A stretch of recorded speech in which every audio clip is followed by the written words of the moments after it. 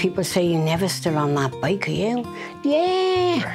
I said, taking up to heaven. I'm Graeme Cox, and I'm 86 years of age. And I'm Betty Cox. I'm 91. We've carried on as if we haven't got old. Five years ago, I had bowel cancer, but because I was so fit from riding, I was only in hospital eight days. I feel marvellous, to be honest. Soon as I met her, Yeah. I said, you better buy a bike. We never ever went on the bus, always cycled. I had a 48 mile round trip after work to come see her. She wouldn't speak to me when I got the house. Nobody would. The Archers were on. Our daughter who was born the August after we got married.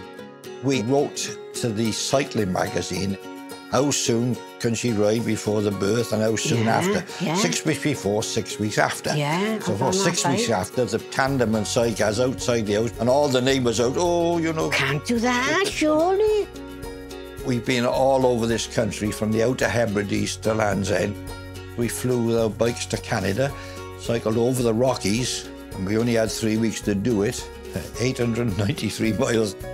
We've had four tandems. Yeah, You can do probably more miles than you would on individual bikes. definitely. At our ages now, in 16 months, we've done 1,700 miles.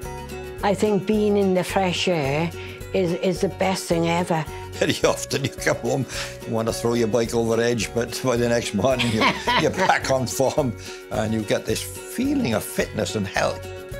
You never you know to ride. Each day is a bonus at our age. You can't buy your health. I think. thing, yeah.